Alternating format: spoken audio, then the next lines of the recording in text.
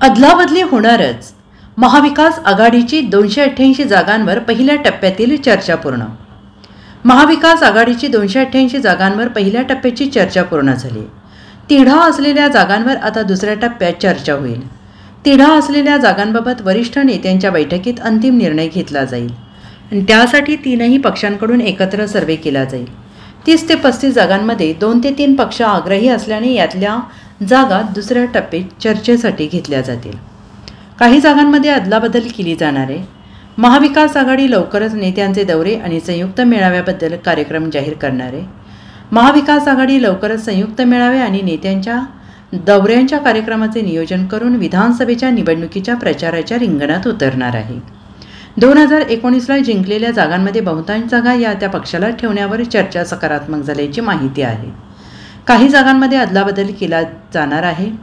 साधारणपणे तीस ते पस्तीस जागांमध्ये दोन किंवा तीन पक्ष आग्रही असल्याने यातील जागा दुसऱ्या टप्प्यात चर्चेसाठी घेणार आहेत. महाविकास आघाडी लवकरच नेत्यांचे दौरे आणि संयुक्त मेळाव्याबद्दल कार्यक्रम जाहीर करणार आहे.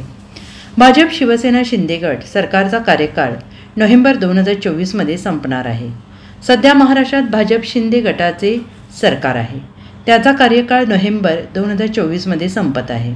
ऑक्टोबर दोन हजार चोवीसमध्ये निवडणुका होऊ शकतात. दोन हजार एकोणीसमध्ये महाराष्ट्रात विधानसभेच्या दोनशे अठ्ठ्याऐंशी जागा बन निवडणुका झाल्या.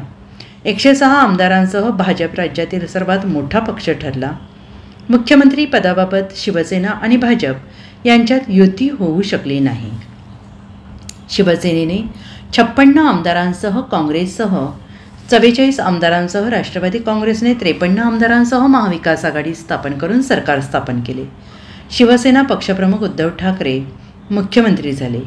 मे दोन हजार बावीसमध्ये महाराष्ट्र आणि सरकारचे नगरविकास मंत्री आणि शिवसेना नेते एकनाथ शिंदे यांनी एकोणचाळीस आमदारांसह बंडखोरी केली. त्यांनी भाजपमध्ये प्रवेश केला.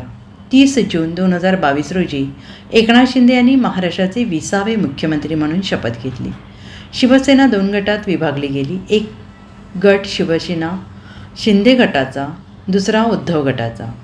सतरा फेब्रुवारी दोन हजार तेवीस रोजी निवडणूक आयोगाने पक्षाचे नाव शिवसेना आणि पक्षाचे निवडणूक चिन्ह धनुष्यबाण एकनाथ शिंदे गटाकडे राहण्याचे आदेश दिले.